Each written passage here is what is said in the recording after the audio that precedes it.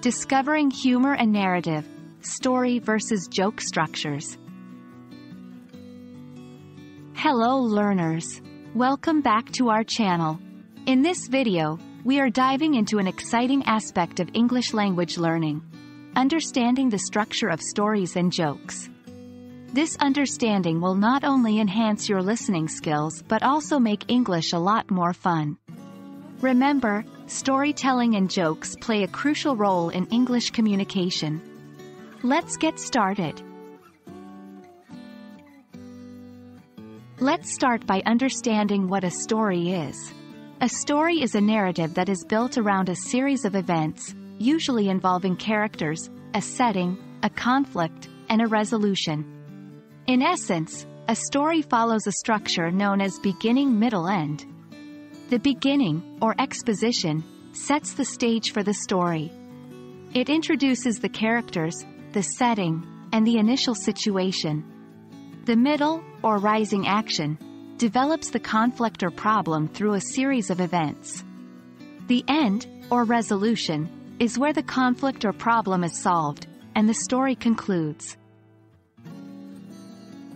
For example, consider the story of The Tortoise and the Hare. The introduction sets the stage with the challenge between the tortoise and the hare. The middle sees the hare taking a nap while the tortoise continues his slow pace. The story ends with the tortoise winning the race while the hare learns a valuable lesson. A joke, on the other hand, is a short narrative or anecdote crafted with the intent of amusing its audience by ending in an unexpected or humorous punchline. Essentially, a joke follows a structure of setup and punchline. The setup is where a premise or context is established. The punchline is a line or statement that provides a sudden, humorous twist or statement that concludes the joke. For example, consider this joke. Why don't scientists trust atoms? That's the setup. And the punchline is, because they make up everything. Now that we've understood the individual structures, let's talk about the key differences. Length. Stories are typically longer and more detailed than jokes. Purpose. Stories often aim to entertain, educate, or impart moral lessons, whereas jokes primarily aim to entertain through humor. Structure. A story has a clear beginning, middle, and end, while a joke consists of a setup and a punchline. Pacing. Stories gradually build up towards a climax, whereas jokes quickly deliver a punchline for immediate humor.